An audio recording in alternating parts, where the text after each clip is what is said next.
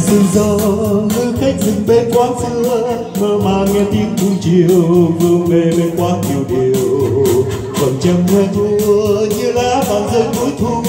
Đường lờ rồi mấy hàng cây, u sầu đang ngắm trời bay ngày nào xa khi giống như trong thông thường từng bài em tung bay buồn ngàn hương rồi ngày thời cũ, nghe tiếng diều trong gió thu vương hoa lên khúc nhà thơ tâm hồn ta lắng ngủ mơ tới đây nơi xưa, gió êm em đưa. Áng mây trôi tới xa rồi cuộc nơi sau rồi quá tranh liêu siêu chung đây cô liêu.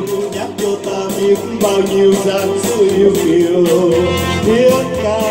xa xa lắm trong bao la. Với tiếng ru khẽ rung lên trong chiều gió, đã bao năm qua sống nơi phương xa. Về quê cũ đành dừng bước chân giang hồ.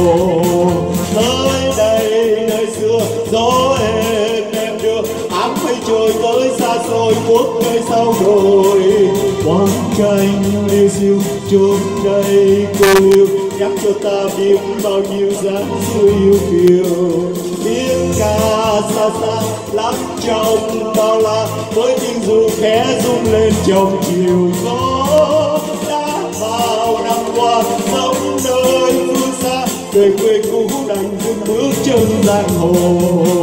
Đã bao năm qua sống nơi phương xa, về quê cũ đành dừng bước chân giang hồ xin cảm ơn nhiều. À, và để tiếp nối xin mời chị ngon